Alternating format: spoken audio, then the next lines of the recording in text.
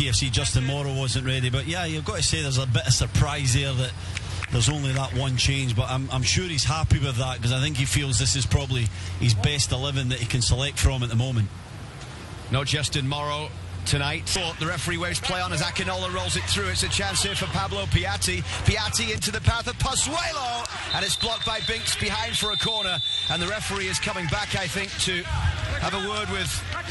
I think it's Maciel who just came in on Marky Delgado in the middle of the park there. Delgado went over, but the break was on. Wonderful from Piatti. The awareness to know that Pozuelo right behind him. He's extremely frustrated there. He knows that with his quality, that was better from the impact. Went back to Westberg, and there was a real squeeze. Just hold tight. I think it was Greg Vanney shouting, "Don't chase the ball," as Montreal were running that around there. And here's an opportunity as the impact might be in here with a wonderful chance to level it and slide it under Quentin Westberg, and this match is level. Gardo recently signed a new contract with TFC. Pablo Piatti has support to the right side with the fullback Auro. Akinola in the middle, Pozuelo there as well. And like I said, if you're just a little bit late on a step, for example, with an impact back three coming into maybe a Pozuelo or a Piatti. Montreal a little too precise maybe in the build-up as uh, Binks gets away with that one. Layers to that attack. Some players in between the lines, off the shoulders of midfielders, in front of a back line where it's difficult for a Birnbaum or a Briand to step into it.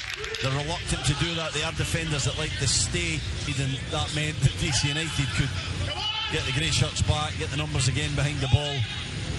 Then it's difficult to break them down. This is a chance. The round of 16 going forward, this is no longer about whether these games count to the regular season or not. Now you're really talking about that prize money. You're talking about the CONCACAF Champions berth and what it means and what it could be. back in Delhi. Once it pops out to Pereira, if he just takes a touch forward and hits it on the half volley, he has himself a full half volley there, top of the 18-yard box.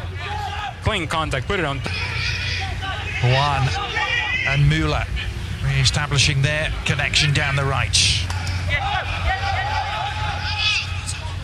Sweeping it for Moutinho. Nani. Nice little change of direction. Moutinho had the chance to deliver a, a piercing cross as it broke his way. And almost by accident, Nani able to get this ball to Moutinho. Finally with a sliding tackle, Akindele flashing across the middle of the goal. But based on tonight's evidence, I don't know what you're talking about, Adrian.